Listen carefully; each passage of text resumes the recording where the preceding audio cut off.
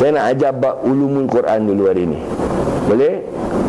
Eh, ini penting. Sebab apa penting? Sebab kita pelajar dewasa. Ha, kalau belajar budak-budak saya tak ajar ulumul Quran. Saya ajar orang-orang dewasa macam kita. Kita dah tua-tua gini, kita kena faham sikit-sikit tentang Al-Quran ni. Apa ilmu yang ada dalam Al-Quran? Penting. Sebab apa penting? Sebab percaya pada Al-Quran ni salah satu daripada rukun iman kita. Rukun tau. Setiap benda yang saya kata rukun Adalah benda yang penting. Ha. Kalau yang wajib Yang yang sunat tu lain Ini rukun mana benda yang penting. Dalam solat ada 13 rukun. Kita tak buat salah satu daripada rukun tu Tak sah solat kita. Benda yang rukun Penting. Awak tak buat salah satu daripada rukun haji Tak sah awak pergi haji tahun ni. Tahun depan kena pergi haji lagi. Kalau awak tak buat wajib haji okey. Awak ada duit awak boleh bayar dam tapi kalau tak buat rukun Awak ada duit-duit awak pun tak laku nak bayar. Nampak tak perbezaan antara rukun Wajib, syarat ni berbeza? Ha, Jadi kita dah ada umur-umur lagi Kita ambil lah sikit-sikit ilmu Tentang ulum Al-Quran. Sebab kita ni percaya pada Al-Quran Tapi percaya macam mana? Baca pun tak pandai Nak faham pun susah pula. Jadi kita kena ambil sikit-sikit ilmu-ilmu Al-Quran ni. Okey, hari ni saya nak terangkan secara general je lah eh, secara dasar uh, ilmu-ilmu. So kita faham apa makna ulumul Quran tu. Pasal benda ni penting. Okey, saya nak tunjuk tentang ulumul Quran ni dia dikenali sebagai ulum. Ha, apa makna ulum apa makna Quran? Pertama kita tengok daripada segi kaedah hadis. Hadis kalau cerita pasal Al-Quran memang banyak jadi saya cuma ambil sebahagian daripada dia sebagai motivasi untuk kita belajar Al-Quran. Okey, pertama saya ambil tentang kelebihan membaca Quran ni. Eh? Kerana pertama sekali kerana kita sebagai orang Islam kita wajib beriman dengannya dan bukankah beriman kepada Al-Quran itu sendiri termasuk dalam salah satu daripada rukun iman. Ha, ini bab rukun, benda yang penting. Kita percaya pada Al-Quran tapi kita baca pun tak tahu. Enggak? Sekurang-kurangnya kita tak pandai nak menafsirkan ayat, kita fahamlah baca. Itulah sekurang-kurang minimum lah. Eh? Yang mana tafsir, yang mana kita serahkan kepada ahli dia. Dia ada ahli tafsir banyak bukan kita orangnya okey yang ini pula hadis daripada Ibnu Majah. Yang bermaksud wahai Abu Zar Abu Zar ni sahabat Nabi eh. Kamu pergi untuk mempelajari satu ayat Al-Quran itu lebih baik daripada kamu solat 100 rakaat. 100 rakaat di sini diartikan sebagai 100 rakaat solat sunat Seratus rakaat. Satu malam solat terawih 20 rakaat Kaki mula lembik Dan lutut dah longgar? Ah, ini lebih baik seratus rakaat. Satu huruf tak awak pergi belajar. Satu ayat Al-Quran. Ha, Tapi yang dimasukkan ni lebih baik ni Orang yang datang pergi belajar Dengan nama itu dia ikhlas semata-mata kerana Allah. Okey. Saya dah bilang yang saya buat kat rumah ni Sebab rumah ni rumah anak saya. Kan? Besan saya pun duduk sini Saya sengaja buat kat rumah ni sebab dia baru pindah. Mula saya nak buat kat rumah saya Tapi saya tak apalah buat rumah anak saya. Pasal saya fikirkan rumah ni rumah baru. Rumah baru kita kalau belajar mengaji ke Baca-baca ayat Al-Quran kat dalam rumah ni Mudah-mudahan rumah ni pun jadi rumah yang diberkati Allah SWT Benda berkat ni benda yang amat penting. Dalam kehidupan kita kita tak boleh pisahkan dengan keberkahan. Setiap benda ada keberkahan dia. Rezeki yang kita makan ada daripada keberkahan Sebab itu Nabi selepas makan Nabi ada sunnah jilat-jilat jari ke Ha, kenapa Nabi jilat jari? Sebab dalam hadis tu Nabi kata apa? Dia jilat jari tu sebab dia tak tahu mungkin keberkahan rezeki yang dia makan bukan ada kat pinggan tapi terselit di sela-sela jari dia. Maknanya keberkahan tu bukan banyak dia benda yang sikit tapi dia membawa keberkahan. Jadi mudah-mudahan kita belajar baca Quran dalam rumah ni, rumah ini dengan ilmu-ilmu kita sikit ni pun jadilah rumah yang diberkati Allah Subhanahu Wa Taala. Itu yang penting. Eh, umur kita, kita dah tua umur kita dah berapa? Kat mana keberkahan umur kita sejauh mana keberkahan ilmu kita sejauh, sejauh mana keberkahan harta yang kita ada semua ada keberkahan dia ya. jadi nak dapatkan keberkahan tu dia berkait dengan adab nanti insyaAllah ada masa saya masukkan sikit ada adab kita dengan masyarakat ada adab kita dengan ilmu adab kita dengan Al-Quran adab kita banyak adab ni adab benda yang amat penting jangan ambil remeh benda adab ni Ha, kita belajar hari ini minggu depan dah lupa. Kenapa? Sebab tak berkat. Bila tak berkat, kita tak beradab dengan ilmu, itu yang susah nak melekat ilmu tu. kan adab dengan Al-Quran kalau kita tengok orang dulu-dulu dia orang tak taruh Quran kat lantai kerana adabnya mereka dengan Al-Quran dan taruh kat rehal biar Quran tu lebih tinggi dari lantai kalau tak ada rehal di alas bantal pun tak apa. Ya, sekurang-kurangnya martabat Quran tu ditinggikan dari lantai. Ha, ini adab orang dulu-dulu jaga Quran. Ya, orang sekarang saya tahu kat lantai boleh duduk baring pun boleh baca Quran. Makna dari segi adab bukan segi hukum. Saya tak cakap hukum. Kalau hukum saya boleh cakap berdosa tak berdosa. Ini bukan soal berdosa dari segi adab. Sebab tu tak berkat ilmu kita Ya, saya dulu kecil-kecil kalau balik ngaji saya bawa beg Quran. Saya tak boleh bawa beg melenggang gini. Bawa parah lutut Quran saya letak. Saya tak beradab. Saya pergi ngaji jalan kaki jauh saya peluk Quran. Pergi balik kena peluk Quran. Ha, itu adab kita dengan Quran. Ha, hatta kita sampai dah tua baru kita nampak keberkahan ilmu Quran tu. Saya bukanlah pandai mana pun bukan budak madrasah pun. Ya tapi daripada keberkahan ilmu itulah saya dapatlah ajar sikit-sikit ni walaupun satu huruf satu ayat pun tak apa. Ya ajar. Kita dapat ilmu kita kena ajar. Kena sampaikan. Ya, jangan simpan. Simpan tak boleh. Sebarkan. Ilmu ni penting untuk disebarkan. Ha, ini beradab. Baru dapat keberkahan. Saya lepas ngaji dulu Kalau bawa Quran ni Kena taruh atas kepala Cium taruh kat dada Betul? Dulu dulu Ha, sekarang tak ada Lepas ngaji masuk beg Jadi kita beg ke Saya balik sekolah kecil-kecil dulu. Saya tak adik-beradik Memang tak boleh campak beg sekolah kat orang Terus balik mandi tak boleh. Mak saya mesti bising. Dan taruh rak-rak Tinggikan beg sekolah saya kat atas. Tak boleh taruh kat lantai. Padahal saya sekolah orang putih Bukan madrasah. Dalam beg saya bukan Quran. Buku maths, buku sains, buku geografi. Mak saya marah Eh ini bukan Quran. Tak boleh. Dalam tu bukan Quran Tapi dah ada ilmu untuk engkau Hari-hari tua engkau besok. Jadi kau kena hormat tu ilmu yang ada dalam tu. Dalam beg tu. Jadi kalau tua besok Dia jadi keberkahan kepada hidup engkau Walaupun dia bukan Quran. Apa lagi Quran? Tak boleh campak-campak. Kena taruh atas meja Atas tempat yang tinggi. Beg sekolah tu baru kita masuk belajar ha, Ini cara adab kita dengan ilmu. Baru dapat keberkahan dia Okay. Kenapa saya bilang saya sengaja buat kat rumah ni? Sebab dalam Quran, dalam hadis sorry. Ada hadis yang berbunyi macam ni maksud dia. Janganlah kamu jadikan rumah-rumah kamu itu sebagai kuburan. Ha, ini hadis ini diriwayatkan oleh Imam Muslim. Apa yang dimaksudkan janganlah kamu jadikan rumah-rumah kamu sebagai kuburan. Jangan jadi rumah kita macam kubur. Bukan bermakna tanam mayat kat dalam. Bukan. Kita kena faham bahasa Arab ni dia ada berbagai-bagai makna berbeza. Bahaman dia tengok pada center ni. Sebab tu kita nak belajar kena berguru. Tak boleh tengok kat YouTube Tengok kat internet tak boleh. Dia nak kena bertalaki dengan guru. Sebab satu benda ni bahasa Arab Dia boleh berbagai makna. Bahasa Melayu pun ada berbagai makna juga. Ne? Okey, saya tengok Saya ambil contoh bahasa Melayu. Kalau bahasa Melayu yang ini apa makna dia ni? Kita nak sebut dia macam mana ni Ha, semak boleh, semak pun boleh. Kena tengok pada sentence dia baru kita gunakan kaedah dia. Semak sambung. Ya. Lalang ada semak. Takkan lelang nak semak. Kalau dia sebut pasal buku, ah, baru semak. Maknanya kena tengok pada whole sentence baru kita boleh faham. Itu dua apa ya tu Ha. Dua apa ya tu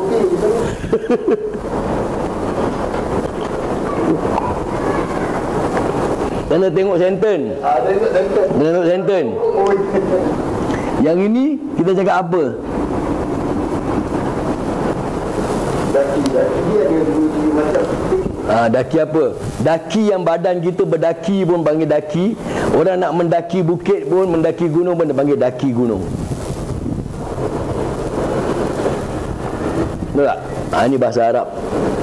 Pun sama macam bahasa Melayu bahkan bahasa Arab boleh pecah lagi banyak makna. Sebab tu kita kena faham the whole context. Jadi kalau nak faham ni hadis ni janganlah jadikan rumah-rumah kamu itu sebagai kuburan. Bukan bermakna kena tanam mayat kat dalam rumah jangan tanam. Ya, Nabi punya jenazah ni pun ditanam di dalam rumah Sayyidatina Aisyah radhiyallahu anha. Eh, Nabi jangan buat kubur tapi dalam rumah Aisyah ada kubur Nabi. Betul tak? Apa makna jangan jadi kuburan? Apa makna kubur? Kubur ni tempat yang sunyi, sepi. Ya, sunyi. Dia bukanlah macam dekat Point, bising dia rendah pasal gelang, bising tak?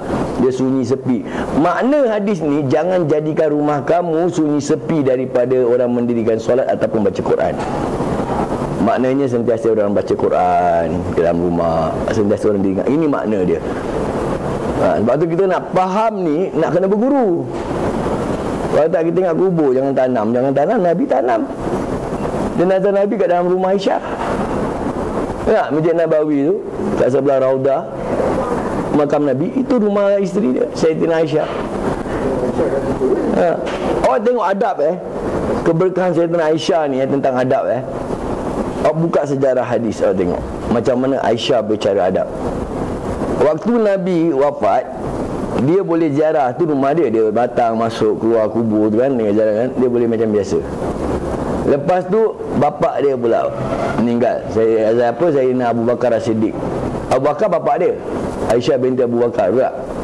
Pun dia macam biasa juga. Dia boleh jalan dalam rumah saja tak tapi bila ada jenazah yang ketiga masuk dalam rumah dia makam siapa? nombor tiga kat situ? Makana ha? Sayyidina Umar Ibn Khattab. Sayyidina Umar Ibn Khattab Bukan bapa dia Bukan suami dia Bukan muhrim dia. Betul? Oh, baca hadis.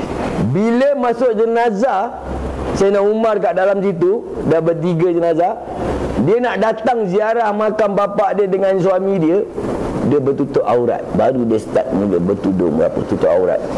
Beradab. Dengan orang nak mati ni Sayyidina Umar dah mati Dia beradab. Kita orang yang hidup pun kita tak nak beradab. Macam mana hidup kita nak berkat? Orang nak banding dengan Aisyah. Aisyah ni hebat. Orang dah mati pun dia beradab. Jaga aurat jaga. Kita dengan yang hidup ni Kita tak beradab Macam kita hidup kita nak berkat pula Sebab tu kita kena faham bab ni dulu. Okey. Ini hadis yang paling saya suka sekali ni saya khairukum man ta'allama al-Quran wa 'allamahu. Yang bermaksud sebaik-baik kalian adalah mereka yang belajar membaca Al-Quran dan mengajarkannya. Ini penting. Hari ini awak tak tahu tak apa awak belajar dengan saya. Awak dah tahu awak pergi ajar orang. Sebaik-baik mereka adalah mereka yang belajar Al-Quran dan mengajarkannya. Bukan saya kata Nabi kata. Ha, kenapa sebaik-baiknya orang yang mengajar ni? Sebab itu saya minat mengajar kita ilmu dah dah tak sebanyak mana. Betul? Ajarlah orang apa yang kita tahu. Saya bukan pandai tak nak jaga. Bukan saya suruh awak ajar kat masjid Kat mana? Ajar anak, cucu Isteri Isteri Jiran-jiran Anak Ajar. Saya tak pandai tak Ajar alik bata pun boleh Boleh ajar. Setiap satu huruf kita baca dapat pahala tak? Nampak? Saya ajar awak Awak dapat pahala Baca. Saya pun dapat Guru-guru-guru saya dah meninggal pun dapat. Sampai saya mati besok pun saya dapat. Itu dia panggil ilmu yang bermanfaat. Bila kita mati Setiap anak Adam terputus segala amalan Kecuali tiga perkara. Pertama apa? Sedekah jariah kita. Kedua ilmu yang bermanfaat. Ketiga Doa daripada anak-anak yang soleh Kepada kedua orang tuanya. Tak? Ha, itu ilmu yang bermanfaat. Saya mati besok Membalik ajar anak dia. Anak dia dapat pahala? Orang balik pun dapat Saya dalam kubur pun dapat Guru-guru saya dalam kubur Beberapa tahun lepas pun dapat. Ini cara kita kumpul. Kumpul harta kita ke akhirat. DP saham ni Selagi kita hidup Ajar. Benar tak? Ha, ini matlamat. Sebab tu saya minat Walaupun saya tak kerja kat masjid Saya kat rumah pun saya nak mengajar juga. Ha, Ini matlamat dia. Supaya kita dapat Kumpul saham kita ke akhirat. Tak amal kita banyak mana lah betul tak eh? jadi apa yang dapat kau jangan kasih can benda-benda yang buat-buat amalan sunat ni pun buat juga kalau berkemampuan buat-buat. Walaupun dia sunat kita faham benda ni sunat. Sunat ni makna apa? Tak buat tak ada apa-apa. Kalau buat dapat pahala tak? Dapat. Buat. Ambil je peluang-peluang ni kenapa saya suruh ambil? Sebab kita tak tahu. Jangan ambil remeh dengan pahala sunat Mungkin-mungkin ke akhirat nanti Pahala sunat inilah yang membuatkan kita timbangan berat untuk masuk syurga. Kita tak tahu. Kita dah lah dosa dah banyak. Sekali nasib baik ada pahala sunat ni memberatkan dia masuk syurga. Ha, Selamatlah kita tak?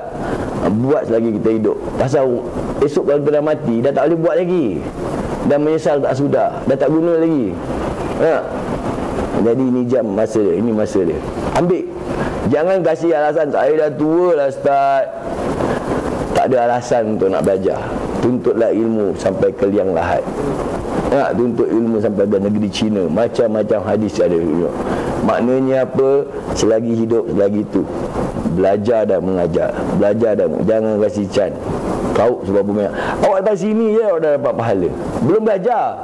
Keluar rumah je Dapat pahala. Pahala apa? Pahala jihad tau Awak tahu tak pahala jihad Berganjaran ni masuk surga tau?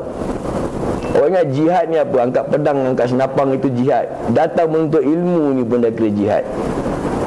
Ya, awak datang? Sekali taruh lah lah. Kenalah Nak cakap pun Minta-minta tidak lah. Ini contoh-contoh Kena langgar Mati. Mati syahid tu. Kita tengah duduk dalam rumah Sekali kau terbang Kau terus asap rumah. Kita mati kena pun. Mati syahid sebab kita tengah belajar Menuntut ilmu Allah Ya, mati syahid bukan kena bunuh kat perang aja. Mana niat kita tu? Niat nawa itu kita tu penting. Sebab itu saya bilang nawa itu tu kena letak semata-mata kerana Allah. Eh? Okey, baru saya masuk bab ulumul Quran. Apa makna ulum? Apa makna Quran? Ulum ni dari perkataan ain lam waw mim ulum. Ni dia. Ain lam mim. Apa makna ain lam mim? Tadi saya dah bilang. Ilmu. Betul? Kalau ada waw kat sini mana banyak ilmu. Kalau satu ilmu dia panggil ilmu. Tak ada waw. Bila dah banyak masuk waw jadi ulum. Ilmu. Ini dia kata jamak. Maknanya kalau dia satu ilmu dia singular. Kalau banyak ilmu dia plural. Jadi ulum. Satu orang nabi Nabi Muhammad sallallahu alaihi wasallam. Tapi kalau dah banyak nabi, Nabi Muhammad, Nabi Isa, Nabi Ismail, Nabi Harun dia panggil anbiya. Ha ni kaedah bahasa Arab. Jadi ulum ni kata jamak daripada ilmu. Al-Quran Quran lah yang kita kenal kan. Jadi ilmu-ilmu di dalam Al-Quran. Dia ada banyak ilmu dalam Al-Quran. Yang kita nak belajar ni salah satu daripada ilmu yang ada dalam Al-Quran. Tapi hari ini saya try, saya rasa tak boleh habis panjang cerita ni. Mungkin saya akan sambung lagi ulum Quran kat minggu depan. Okey. Itu yang dimasukkan daripada ilmu. Okey, kenapa kita perlu memahami ilmu ilmu apa ulum Quran? Penting ke nak belajar ilmu Quran? Penting sebab kita beriman dengan dia. Eh? Tapi susah nak belajar ni sebab dia tulis tulis Arab. Memang dia tulis Arab. Dalam Al-Quran sendiri Allah kata apa? Surah Yusuf ayat 2. Inna anzalnahu Qur'anan Arabian Arabian ni Arab. Arabian la'allakum ta'kilun Yang bermaksud sesungguhnya kami menurunkan Al-Quran dengan berbahasa Arab Agar kamu memahaminya. Hai, Dia suruh kita turun bahasa Arab Suruh kita faham pula. Nah, ha, Memang kena faham bahasa Arab. Dia tak boleh bahasa Melayu. Semua orang tak faham baca Quran. Sebab Sebab kita orang Melayu saya sendiri pun tak faham. Macam mana saya boleh faham hari ini? Sebab saya belajar. Jadi awak nak faham hari ini Awak pun kena belajar. Susah lah tak ni bahasa Memang saya pun orang Arab. Awak tanyalah orang-orang yang pandai baca Quran. Suruh orang ceritakan orang punya pengalaman dulu 20-30 tahun tu macam mana orang belajar. Susah tak? Susah. Saya boleh cakap susah, memang susah. Ambarik susah tak? Nak kena urut. Ya? Susah. Ya, tapi daripada susah itulah Allah permudahkan. Yang penting niat kita. Saya boleh tunjuk awak lagi satu ayat Quran. Allah akan permudahkan benda yang susah jadi senang. Ini bukan saya cakap Allah cakap. Janji Allah. Ha, mustahil Allah memungkiri janji dia. Kan? kita ambil ayat-ayat Quran aja dulu. Supaya kita dapat tengok cara kita mengenal Al-Quran ni bukanlah dengan cara benda yang mudah. Memang benda yang susah tapi akan dipermudahkan oleh Allah SWT cuma masalahnya sama kita nak dengan tak nak belajar je. Ha, ini janji Allah. Tadi Allah cakap supaya kamu memahaminya. Macam mana kita nak faham? Ha, nak faham nak belajar. Masalahnya kita tak nak belajar. Okey, ini surah Al-Qiyamah ayat yang ke-16 la tuharik bihi lisanaka lita'jala bi. Apa makna dia? Janganlah kamu gerakkan lidahmu untuk membaca al-Quran kerana hendak cepat-cepat menguasainya. Apa makna dia? Belajar ni kena sabar. Jangan nak cepat katam Jangan nak cepat wah naik Quran Tapi baca berterabur. Ya Allah dah bilang Jangan. Pelan-pelan tak apa Alamak aku dah tua ni. Tak sempat nak katam kali mati pula. Macam mana? Tak apalah. Seorang-kurangnya kita ada usaha nak belajar sebelum mati. Dia bukan tanya kat, dekat kubur Ma Rabbuka? kan dia tanya kan Malaikat Ma Waman Nabi Uka kan Malaikat muka Dia tak tanya pun kau dah katam ke belum. Dia tak tanya. Tapi apa usaha kau untuk mengenal Al-Quran? Aku dah pergi belajar dengan Ustaz Dres Kat blok 693A Tapi aku dah meninggal pula Tak sempat nak katam Allah lebih orang mengetahui. Niat kita nak belajar tu dah ada. Ha, Itu yang penting. Bukan katam tu penting. Macam cerita burung hud-hud Pernah dengar tak? burung Uhud ni. Dia seekor burung yang kecil. Dia hidup zaman Nabi Ibrahim AS Nabi Ibrahim kena bakar dengan Raja Namrud.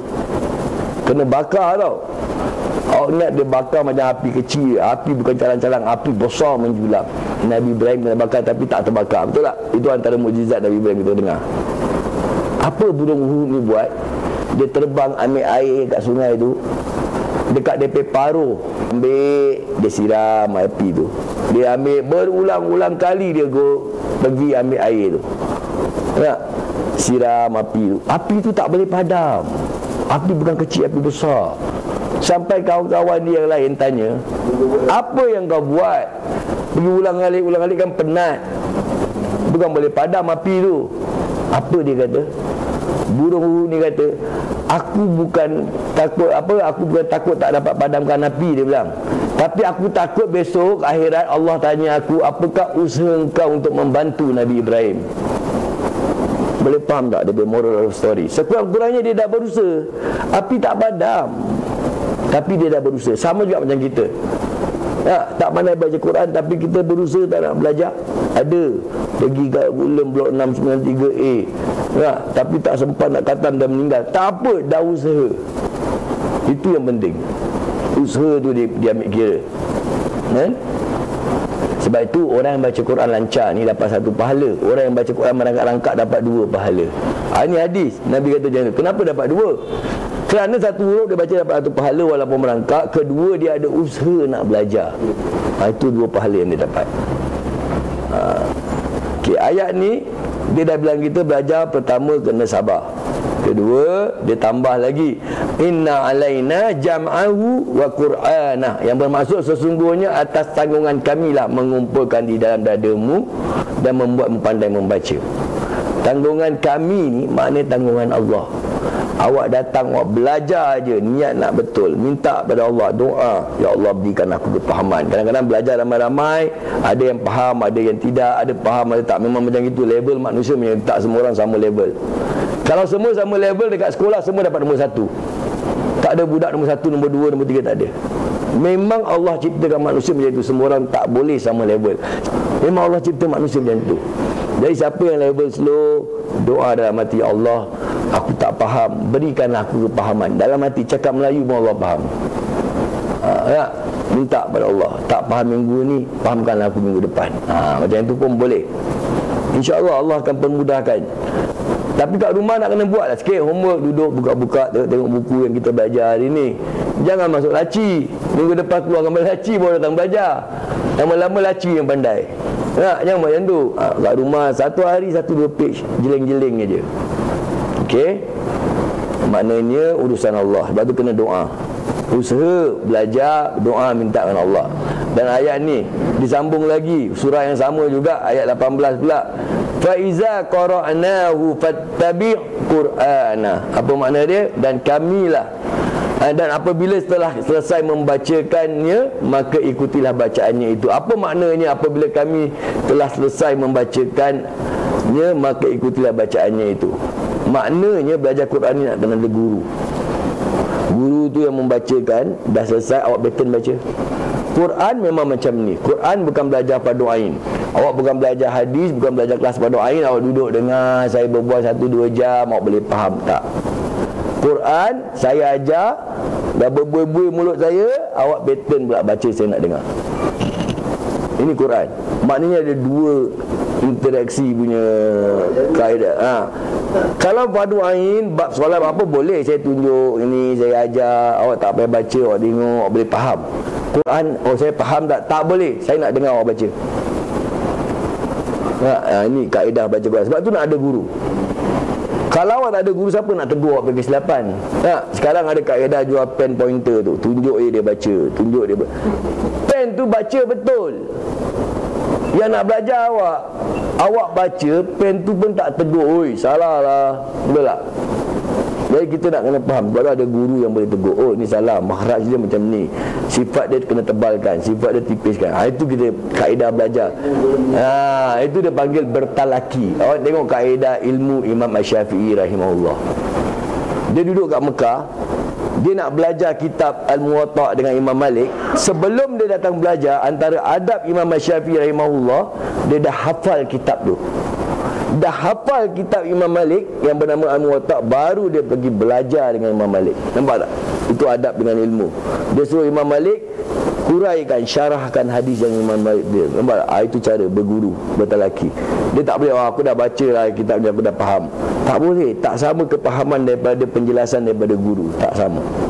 Sebab tu kita belajar kat YouTube, internet tak akan sama tak akan sama kepahaman kita berbeza dengan kepahaman orang lain Ah, lebih lagi buat Quran. Ya, kalau buat-buat ilmu lain pun kita kena faham. Kadang berbeza pandangan dan sebagainya. Okey. Lepas tu tak faham macam mana saya baca ni tak faham. Tak apa, baca je. Faham tak faham nanti. Yang pertama baca, lepas tu baru kita naik taraf kita. Baru belajar bahasa Arab. Ya, baru belajar bahasa Arab, belajar tafsir. Banyak ilmu-ilmu Quran ni ada. Ha, baru yang seterusnya ayat ni mengatakan summa inna alaina bayana. Apa maknanya? Kemudian sesungguhnya atas tanggungan kami lah penjelasannya. Allah yang akan kasih kita kepahaman. Masalahnya macam mana Allah nak kasih kepahaman? Kita belajar baca pun tak nak. Ya? Okey. Berbalik pada ulumul Quran tadi,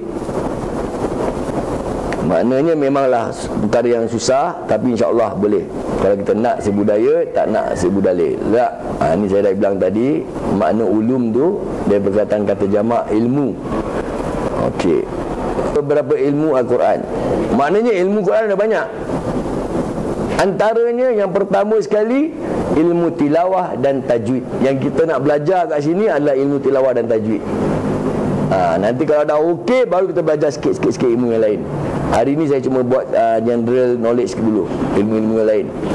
Ilmu tilawah. Tilawah ni maknanya apa? Pembacaan. Ha, Dulu Dia cakap dekat Malaysia apa? Musabakah Al-Quran. Musabakah tu mana pertandingan membaca Quran. Orang komplain. Apalah baca Quran pun nak bertanding Nak berapa tak? Okey tak apa. Kita tukarkan nama dia. Tilawatul Quran. Pembacaan Al-Quran. Dia orang tak boleh komplain. Tapi sama juga Siapa yang menang tilawah dapat hadiah juga. Cuma nama saja berbeza. Tak kisahlah. Yang penting dia memotivasikan orang Supaya belajar baca Quran dengan baik. Ha, Dengan taranumnya dan sebagainya Dan ilmu tajwid ha, Tajwid ni dalam Al-Quran ada ayat yang mengatakan bacalah waratil Quran tartila. Kan? Bacalah Al-Quran dengan tartil. Tartil ni mengikut pandangan daripada Sayyidina Ali radhiyallahu anhu. Dia kata tartil ni bermaksud baca dengan tajwid dengung tak dengungnya panjang pendeknya. Ha, kesempurnaan pembacaan tu penting. Ha, ni sebab tu kita datang sini kita nak belajar ilmu pembacaan Quran bermula daripada peringkat ikra nanti dah okey baru kita naik bab tajwid. Waratil Quran tartila. Bacalah Quran dengan tartil. Tartil ni lah yang dimaksudkan membaca dengan bertajwid. Okey. Ini surah kiamat tadi saya dah bilang baca pelan-pelan nak sabar dan sebagainya. Ini semua yang tadi lepas tu kita kena belajar nanti kita juga akan belajar sikit-sikit mengenal tentang ini semua termasuk dalam ilmu-ilmu Quran tadi pertama ilmu bacaan tadi tilawah dan tajwid ilmu kedua ilmu sejarah Al-Quran ilmu ketiga ilmu kiraat Ha, okey, nanti minggu depan baru kita bab masuk sejarah Al-Quran dengan ilmu-ilmu kiraat. Penting benda ni. Kita kena kenal sejarah Al-Quran. Bagaimana Al-Quran tu diturunkan, bagaimana penulisan Al-Quran, siapa yang tulis uh, Quran yang membukukan dia? Semua kita kena faham sikit-sikit. Ini semua termasuk dalam bidang ulumul Quran. Dan dia ada ilmu kiraat, ilmu nasik mansuk. Banyak, benda ni banyak. Saya dah, dah bilang, dia tak boleh habis minggu, minggu ni. Minggu depan saya akan habiskan sikit, sikit, sikit. Yang penting saya nak an semua yang datang belajar ni Dapat kepahaman Tentang ilmu-ilmu yang ada dalam Al-Quran ha, Baru kita rasa sedap nak baca Al-Quran Baru kita rasa cinta pada Al-Quran. Kalau kita tak rasa cinta, tak rasa suka dengan Al-Quran Nanti kita cepat jelak. Baca je malas, baca je ha, tak ada. Tak ada tu spiritual value tak ada. Roh dia tak ada eh? Okey, saya sampai kat sini dulu. Ada apa-apa nak tanya tak bab ni dulu? Eh, pasal kita ni belajar-belajar otai-otai ni nak kena faham lah sikit-sikit benda ni ya ha, bukan kita nak baca je kita nak kena faham apa kita baca sikit-sikit tak ha. saya cuma nak faham bahasa Arab lah bahasa Arab sikit-sikit kena faham kena faham kalau kita tak nak baca saja tapi tak faham jadi macam burung gagak tua pula tak burung gagak tua pun boleh baca tapi dia tak faham tak faham ha. Okey, ada apa-apa nak soal? Adik, Nun? Nak tanya boleh?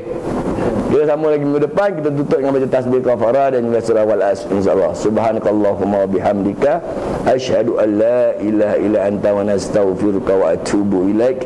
Bismillahirrahmanirrahim. Wal 'asr innal insana lafi khusr illa allazina amanu wa 'amilus solihat wa tawasaw bil haqqi wa tawasaw bis sabr. Sadaqallahu azim. Sekian assalamualaikum warahmatullahi wabarakatuh.